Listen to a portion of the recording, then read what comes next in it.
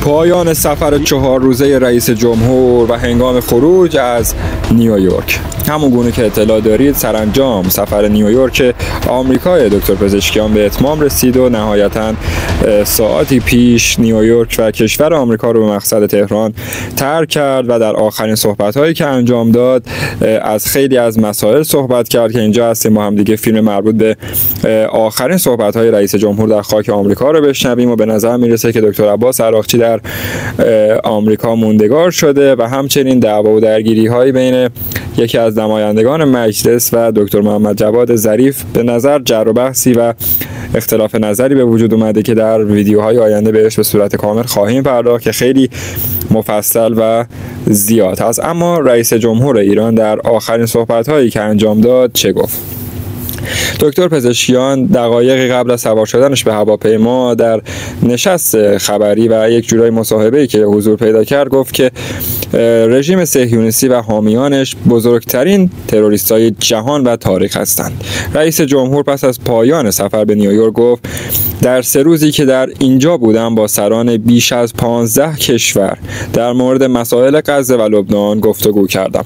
در این گفتگوها خیلی از مسائل مطرح شد که رژیم صهیونیستی و کسانی که از این رژیم حمایت می کنند ظالمانی هستند که از حقوق بشر فقط و فقط حرف می‌زنند. رژیم صهیونیستی و حامیانش بزرگترین تروریست های جهان هستند چون با ابزار و قدرتی که دارند مردم بیگناه را از بین می‌برن ما اینجا هستیم تا از حق مردم ایران دفاع کنیم و بتوانیم صلح و آرامش رو به جهان برگردونیم.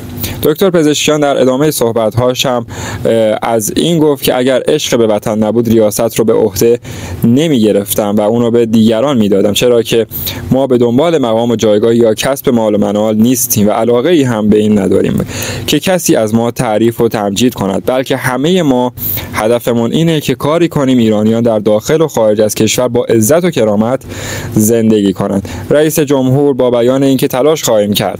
بر پایه صداقت از کمک همه نخبگان و افراد توانمند در مسیر ساختن ایران یاری بگیریم گفت قول می دهم که برای اطلاع کشور و سربلندی ایران از هیچ تلاشی فرو گذارم قول می دهم که برای اطلاع کشور و سربلندی ایران از هیچ چیزی دریغ نکنم و اینجا هستم تا به ملت کمک و خدمت کنم. این صحبت های دکتر پزشکیان بود. عباس عراقچی در یک توییت فوق العاده جنجالی هشداری رو به همتای انگلیسی خودش داد و گفت که اگر که در دیدار با لامی صریحا در مورد تبعات و مصیبت بار تجاوز رژیم اسرائیل علیه لبنان هشدار دادم و اگر که بخوان همچنان ادامه بدن مطمئنا عواقب بدی خواهند داشت. در ادامه هم اتفاقات زیادی حول محور نشست خبری رئیس جمهور با خبرنگاران خارجی افتاد که به نظر می‌رسه یک سری اتفاقات و هواشی پیش اومد که این نشست کنسل شد و دکتر پزشکیان با خبرنگاران خارجی در اواخر سفر خودش صحبتی رو انجام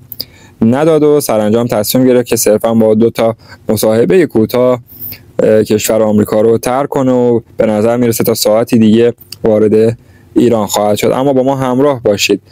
صحبت های رئیس جمهور رو بشنوید و برگردید ادامه ماجراها رو بررسی می‌خوام بدونم کی شما یک حرکت انقلابی می‌کنید. زنگ می‌زنید واشنگتن آقا من دارم میام. مشکلاتتون رو حل کنید 50 ساله داد و فریاد ایران کرده. اینا واقعا فشار آوردن رو ایران.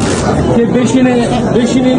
مشکل هم آقای دکتر عزیز بشین. ما برجام امضا کردیم. کی پاره کرد؟ کی پاره چرا پاره کرد زیرش زدن چرا؟ دو طرفه بوده. ما چیکار نه کردیم؟ نه ما کاری نکردیم. نه ما چیکار کردیم؟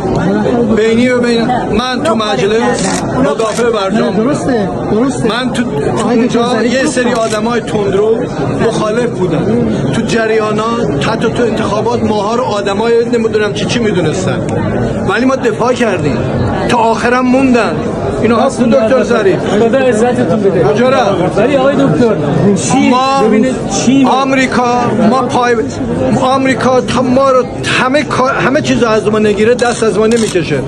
ما به اون چارچوبا پایبندیم اونا پایبند ولی باشن باید باشیم آقای ببینید خدا. خیرتون بده آقای آمریکا دکتر من خودم. همکار شما. هستم عضو هیئت علمی دانشگاه علوم پزشکی ایران بودم و واقعا از این برخورد شما من کمال تشکر رو دارم آقای دکتر شما خودتون یک میدان مرد میدان هستی ما به شما افتخار می‌کنیم. و آقای دکتر حرف اول میدان می‌زنید دست شما در آقای دکتر. که آقای دکتر. چین و ژاپن زد آمریکا نابود کرد. چین و باش اختلاف داشت. آلمان زد داغون کرد. ولی همه اینا رفیق شدن با هم. ما دعوا نداریم. بیا شما مشکل حل. کردن. ما با هیچ کی دعوا نداریم. مشکل بیان حل کنید. خب بسم الله ما که اعلام کردیم. شما با... ما اعلام اقدام ما اقدام منت نمی‌کشیم ولی گفتگو می‌کنیم. اگر یکی بخواد ما رو تحقیر بکنه قبول نمی‌کنیم. ما تحقیر رو قبول نمی‌کنیم. زنده باشی آقا. یه زنگ بزنید آقا بگید ما داریم میان خدا حفظت کنه. اینا اول بپذیرن ما آدمی آدمی اونا باید بپذیرن. زنده همون گونه که دیدین بخش مهمی از صحبت‌های رئیس جمهور رو مشاهده کردیم که در آخرین دقایق در نیویورک انجام داده بود و یکی از اتفاقات مهمی بود که طی دوران رئیس جمهوری دکتر پزشکیان تا بدین لحظه رخ داده. اما ولادیمیر پوتین هم دیشب با هشداری که توسط سلاح هسته‌ای به اروپا داد امروز خود کرملین از این گفت که دکترین هسته‌ای جدید هشدار به غرب هستند سخنگوی کاخ ریاست جمهوری روسیه درباره تغییر دکترین و از این گفت که مسکو توضیح داده که اقدام باید سیگنال های خاصی رو شما در نظر بگیرید از اینکه نباید پیشروی کنید به سمت خاک روسیه و باید مواظب مواضع خودتون باشید. سیگنالی که به این کشورها یعنی کشورهای غیر هسته‌ای درباره پیامد مشارکت در حمله به روسیه با ابرازهای مختلف. نه لزوما هسته‌ای ما بهشون هشدار میدیم که پاشون از گلیمشون دراستر نکنن. این سه روزی که اینجا بودیم با بیش از 15 سران 15 کشور ما نشستیم گفتگو داشتیم و در گفتگوهایی که داشتیم بیشتر مسائل غزه و فلسطین و لبنان مطرح بود و اینکه اسرائیل و کسانی که دارن ازش پشتیبانی می‌کنن اینا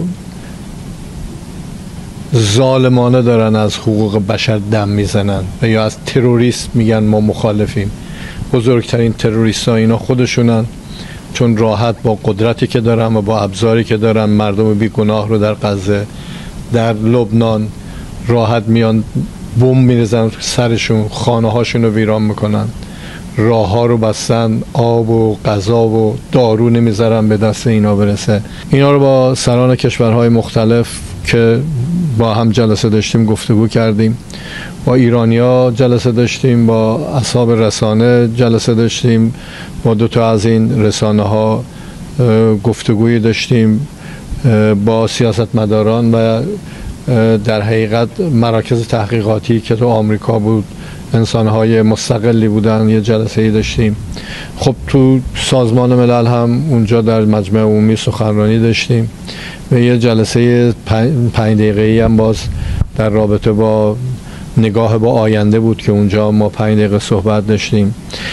علاوه بر من وزیر خارجه ما برادرمون آقای دکتر عراقچی در ضمن اینکه ما گفتگو داشتیم ایشون هم با وزرا و با همتایان خودشون جلسات مختلفی داشتن.